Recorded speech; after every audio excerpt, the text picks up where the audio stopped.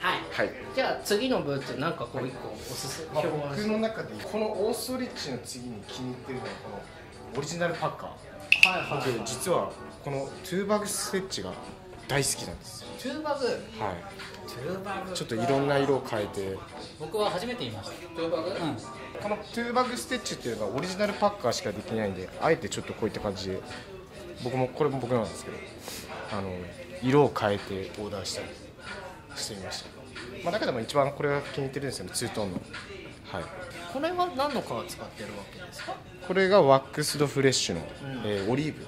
バンプと、ん。えーカウンターとバックステうんうんに使ってます、でクォーターがオールドレザーのレッドドッグ、うん。はい使っております。すごいね。これやっぱ解説していくと、ブラックワックスフレッシュとかっていうのはおあのホーウィンのクロあのクロメクセルとかと同じところで作ってるわけですね、であのそのワックスフレッシュっていうのの特徴としてこういうふうに毛羽立ちが出てきます、うん。だからこういう茶芯があの普通のクロムエクセルと違った形で露出してくるんですよ。特にこういう当たりのあるところあこういうとことかこの辺ねちょっと違った経年変化を求めたい方には面白いかもしれない。でいいところ。これレッドドッグのオイルをここに持ってきてると。こそれはろ僕好みえ見た目だけの話、ん。見た目の話、配色の話ねとあのークォーターはやっぱ屈強じゃないとダメでしょ、うんっていうちょっとそういうストロングスタイルを感じます。経年変化としてはこっちは結構こうやれたというか、そうそうそうちゃんと変化してるけども、うん。レッドドッグがやっぱり結構原型をとどめてるというか。そうタフネスですよ。こういうところ好きよ私。これいつお出した？これはもうこれは3年前ぐらいですね、うん。はい、古いロゴだね。古いロゴです、はい。で見して。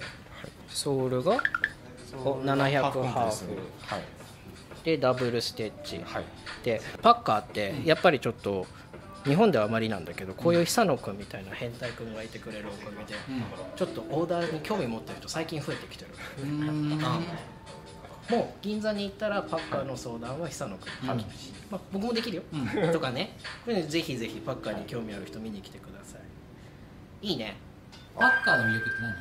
パッカーは比較的にその傍から見たらそのスモークジャンパーと似たような感じに見えると思うんですけどこのトゥーバグステッチっていうのがパッカーにしか入れれないっていうのとあとその一番ラストがあの比較的に高め。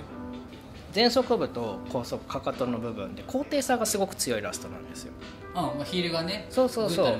もうあるしラストをこうやって置いた時に、あのもうなんとかかとだけ浮いちゃうぐらいうーん。高いんですかかとの位置まあそうですね。だからあのアーチーズ自体はそこまで高くないんだけどその高低差によってすごく高く感じる。ああなるほどね、っていうことなんうん。です、っていう靴なんですでも実際履いてみると確かにかなり高く感じます、その履き心地が久野さんは好きと。好きです。突き上げる感じで、はい、ちょっと入ってみてはい。これ何インチですか？これは10インチです。これ10はい。いいですね。高いほど好きな大好き あ久野君上通す派なんだ。トースハウスね僕は。なんで？穴があるからっていう。あそうなの。私通さない派。穴を通して後ろを回すんだ。そうです。へー。ホールド感があって僕は好きなんで。えー、がっちり結ぶんだね、これはどういうパンツを合わせるのが多いんですか？まあ一番カーゴパンツですね。やっぱ合わせるとしたら。カーキのカーゴパンツで履く時が多いですね。相性はいいのかなとは個人的には思いますさはい。僕は全ラスト全モデル同じサイズ同じウィズでやってんだよ。久野君はどう？ノースウェストいくつサイズ？えっ、とサイズが US の7の E、セブンのいいはい。パッカーは？パッカーも7の E あ久野君ももしかして？僕全部ラスト関係なく、えっとサイズワイズ全部一緒です。統一派。はい。あたまにローカットにすった時に下げたりとかする人いません？ーあーオックスフォードとか抜けが激しいからね、うん。やっぱりそういうふうに調節する人はいるけど僕も久野君もやっぱ数々履いてきて統一派なんだよね、ん。けどこれ人によるから一概に言えないんだけどね。でもぶっちゃけやっぱり履き心地が全然違うから、うん。あのこれとこれが違うラストだけど同じサイズで作ってたとしても正直履き心地は違う。うん全然違う、うん。はい。フィット感もね、う。ん、そのパンツだからちょっと何とも。なんとも言えないけど。そうだね。ちょっとはい。あでもやっぱり2のつあの跳ね上がり方はうん。他のブーツじゃないイメージがあるけど。そうね。なんか足首の細さっすここの細ここのシャフトの部分とかはなんかパッカーが比較的に細いんでなんか僕は好きですねあいわゆるスモークジャンパーの10インチとかよりも、うん。シャフト部分は細い。確かに。シャフトはあのパッカーの方が全然細い。です。うん。その好きな理由の一つでもあります。へえ、はい。そういうのなんだ。いいね。でもまあ今日の服だとさっきも買ってた、うん。これね、あトゥーバグステッチです。うん。これは今でもできるんですか？できる。いきます。これはパッカーのみしかできないんで。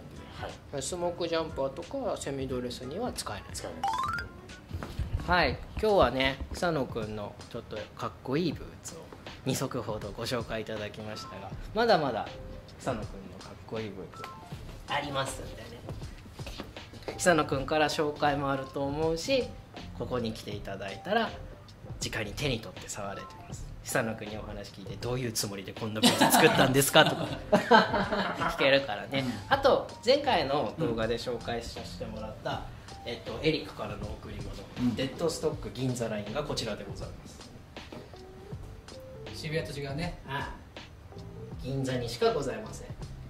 ぜひねこちらもご覧になってにに 来ていただいて手に取っていただいて、うん。はい、はい、今日はこう久野君に急遽ドッキリであの 登場してもらいました久野君のかっこいいブーツありがとうございます、はい。でこれからね僕だけじゃなくて久野君ですとか他のスタッフからもホワイトブーツの紹介がされると思いますのでぜひ乞うご期待ください。